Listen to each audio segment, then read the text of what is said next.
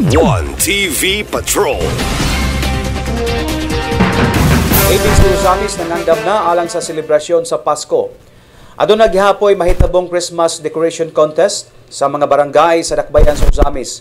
Sa ulahing regular session sa konseho, gipadayag ni Konsehal Jud Carlo Morelion ang barangay Christmas decoration contest uh, mao kini ang usa sa mga agenda nga tukion sa epagayong meeting sa liga ng mga barangay. Si City Economic Enterprise Manager Jaime Tumada iyang konsultahon kung unsa ang maayong concept design sa Christmas decor na ining uh, uh, tuiga o Paskuha nga maoy sundon sa matag barangay.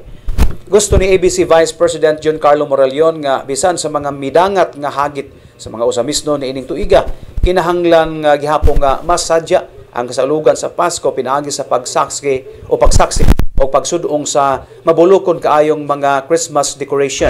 Uh, this coming uh, November 21, um, Liga ng mga Barangay uh, regular session in Barangay Aguada. And we have uh, six agenda.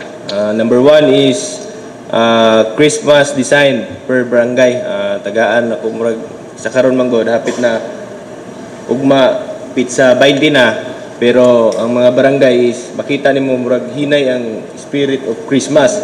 Pagsulod po nako diri sa uh, session hall karon nakita nako ang paganindot nga mga design. Dayon kang konsehal Dinky.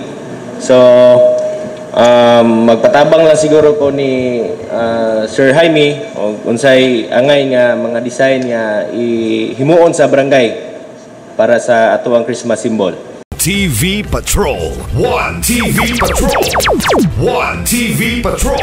One TV Patrol.